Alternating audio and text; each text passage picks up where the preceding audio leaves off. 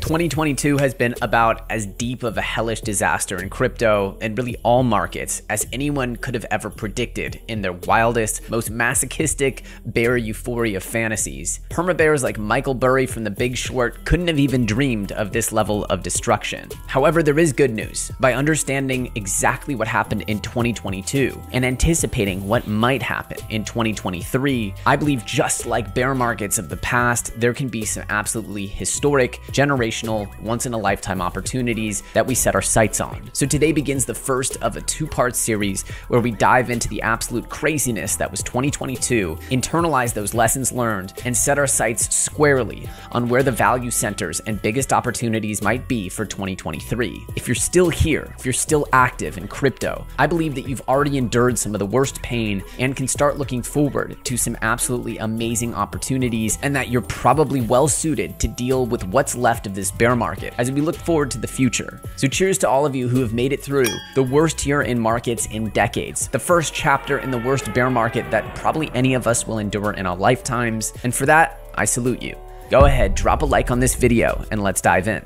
Despite the digital gold narrative, Bitcoin sunk like a lead balloon as soon as quantitative tightening was kicked off by the Fed. And while most altcoins did not fare better than Bitcoin, the total market cap of crypto sank from a peak of 3 trillion to under 900 billion. The number 2 cryptocurrency Ethereum fared almost equally to Bitcoin. As you can see, it finished off the year almost equivalent to where it started in the Ethereum versus Bitcoin price, currently sitting at about 0.072. Taking just one look at the year-to-date filter on the top cryptocurrencies, and you can see that almost everything has been a bitter bloodbath. With Bitcoin down almost 65%, Ethereum 67%, and big red numbers across the top 20. In fact, there's only two cryptocurrencies in the top 100 that have even managed to clock any gains whatsoever. Special shout out here to GMX, which is up 104% year to date, and Trust Wallet token, which is up 85%. GMX effectively allows you to go long and short and to do derivatives trading completely decentralized without putting your coins coins on exchanges. Now, in the wake of several centralized players completely failing and locking out their customers who are now looking at complete losses on the coins they had on those exchanges, of course, trading with full self custody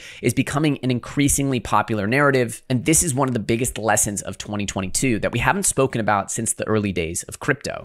The timeline of events here is really intense. As you can see, we had a wormhole hack, the SEC finding BlockFi, the Ronin hack, Terra's collapse, CFTC suing Gemini, SEC investigating Binance, Celsius freezing withdrawals, Coinbase cutting staff, Horizon Bridge hack, Three Arrows files for bankruptcy, Voyager Digital files for bankruptcy, Celsius files for bankruptcy, MicroStrategy Saylor drops CEO role, US sanctions Tornado Cash, Alameda co CEO resigns, Wintermute hack, Kraken's Powell drops CEO role, SEC investigates Yuga Labs, Binance saying it will sell FTX native token FTT, FTX filing for bankruptcy, BlockFi filing for bankruptcy, and SBF arrested in the Bahamas. It's been a whirlwind of almost nonstop negative news. But one of the things that I want to point out that is most important of almost anything in this entire year is correlations between tech stocks or really all risk assets and crypto itself. You see, during the bull run of 2020 and 2021, it wasn't entirely clear whether crypto was sparking an entirely new wave of revolution through DeFi and NFTs or whether it was behaving exactly as it should as one of the riskiest asset classes in the most risk on environment in the history of the modern economy. Understanding this relationship between crypto and risk assets, or really crypto and the macro economy as a whole, is one of the most important takeaways from this year. And if you don't learn this lesson, you simply will fail to understand how crypto will perform in the future. There's no question that crypto currently is and will continue to behave as the ultimate bastion for risk on upside and downside. On top of that, there were two critical lessons that 2022 taught us. First is that fixed rate yield is totally unsustainable in a bear market. And with bear markets built into the fabric of crypto, anything promising a fixed rate of yield should be treated with insane extreme caution. I will caveat that it is possible for people to provide cash on cash yield sort of in the range of what the US government is providing, meaning that US treasuries are currently yielding about 5% annual rate of return on your cash. So if you put in $100,000, you'll be earning $5,000 for buying treasury notes. Now, that's the US government literally printing money to pay back those debts. Anything above that 5% represents risk. And depending on how far above that 5% you go, the risk becomes more and more extreme. This was made abundantly clear during the Luna collapse, where several major players, including Pantera, Hashed, Jump Trading, Galaxy, Three Arrows Capital, Hodlnaut, Coinbase, and Binance, all got hit hard by the collapse of UST. UST got so big and was functioning so well and was so trusted during the bull run that it surprised everyone when it completely fell apart in the bear market. Now, of course, hindsight's 2020. It's easy to look back and say, hey, that shouldn't have worked. But when something's been working, rain or shine, for over a year, it tends to lull you into a false sense of complacency. So going forward, anything that promises you fixed rate yield in crypto should be treated exactly as it is, a very, very hot potato that you do not want to allocate too many funds to because inevitably the rubber will hit the road, that yield will start to fall apart, and you might not be holding what you think you're holding. Now, many believe that the collapse of Terra put so much pressure on the ecosystem through forced liquidations, selling of Bitcoin to defend the Terra peg, and other things like that, that it effectively created a cascade of issues across the ecosystem. This caused bankruptcies across the board, from Three Arrows Capital to BlockFi to Celsius, and eventually FTX. Now, to be honest, there are so many people who have covered FTX. Given how angry I was about the FTX situation and the fact that I also got duped by the FTX branding, I didn't want to pursue FTX videos, which were going completely viral to actually bolster my channel and get more clicks. There were so many people covering it. I didn't feel like that was really enriching my audience to constantly try to drive so many clicks out of that event. That was just my choice. But let's be honest, at this point, everyone knows what happened. FTX stole customer funds, they leveraged themselves to the eyeballs on the FTT token, and when the FTT token came crashing down, so did the entire FTX empire like a house of cards. But the lesson here is really clear. Crypto and decentralized technology were not built to empower single centralized entities or businesses. They weren't designed to empower exchange CEOs as the next billionaire class of innovative entrepreneurs. No, the point of this technology was self sovereignty, true ownership, and never, ever being able to be separated from your funds. Beyond the obvious lessons of always trying to remain in control of your funds,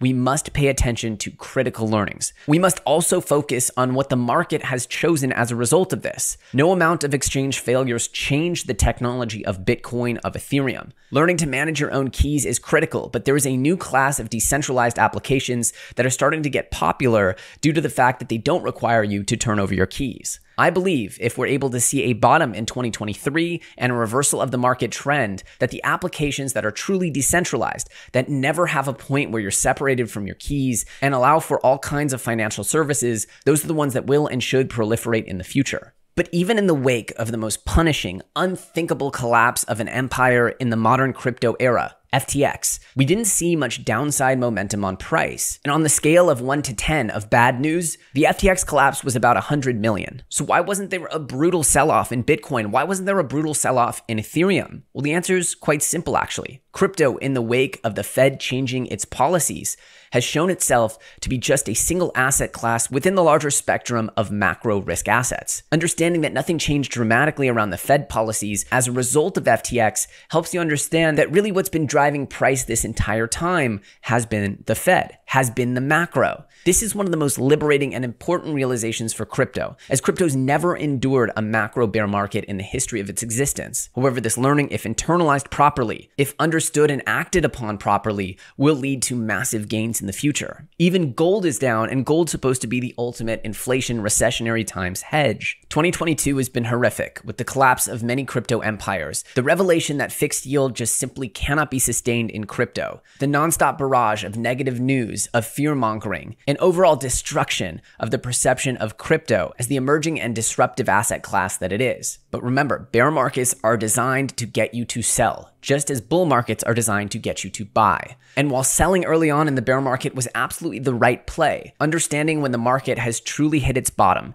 and a new cycle is beginning is the absolute key to crushing it, not just over the next year, but over the next decade plus. I believe firmly that once this market reaches its bottom, whether it's in 2023 or 2024, the people who begin allocating to the market around this time will be in an incredibly powerful position, and that those prices will absolutely never be revisited. So for those of you who are still still here, who are still fighting the good fight. And I know there are tons of you because my videos are getting about one third to half the amount of views and traction as they were in the bull market, which means most of you are still here. And if you are still here, please comment in the comment section below. What's keeping you here? What are you most excited about? Have you sold your portfolio? Are you still holding it? Now, I've shared transparently throughout 2018, I got absolutely crushed. I got destroyed. I held on to everything until it was worth dust, and all I wished was that I had a little bit of dry capital left to buy the bottom when it was so clearly in at the end of 2018 or throughout 2019. I believe history is repeating itself, not in the exact same way,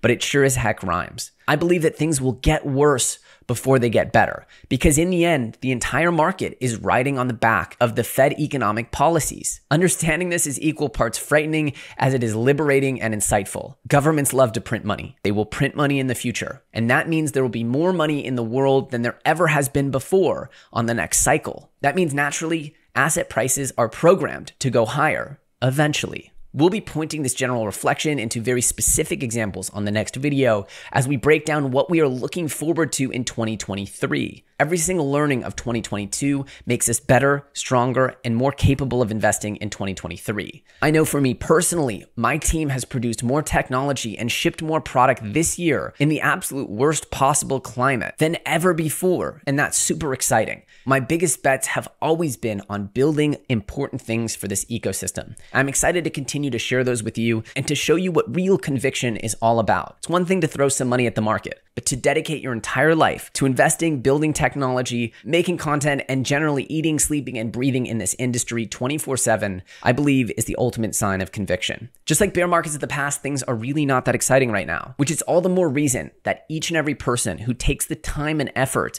to actually understand what's going on is doing more than 99% of people will.